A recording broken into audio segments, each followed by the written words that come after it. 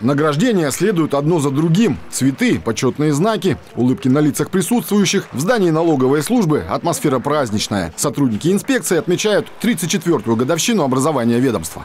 Мы хотели вас поздравить и отметить э, знаками отличия э, некоторых сотрудников. Но на самом деле, вот если можно было бы, мы бы всех наградили, особенно по результатам этого года, Владимир Вот. Действительно, просто это прорыв.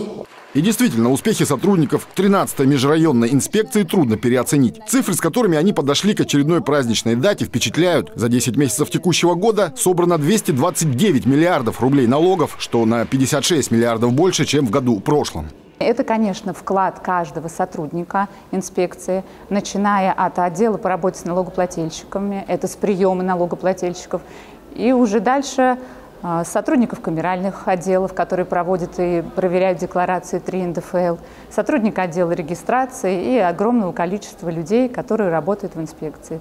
Регистрация бизнеса, помощь в уплате пошлины налогов, оформление социальных вычетов, выдача лицензий – вот лишь часть повседневных трудовых забот сотрудников налоговой службы. И результаты их работы – основа финансовой состоятельности городского округа. Химки – город, который стабильно входит в тройку лидеров Московской области по социально-экономическому развитию.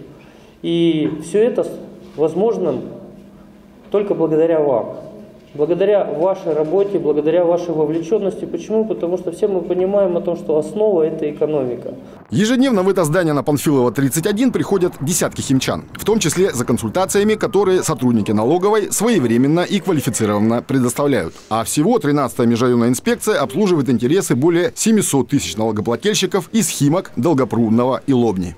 Владислав Грачев, Руслан Сафин. Новости Химки ТВ.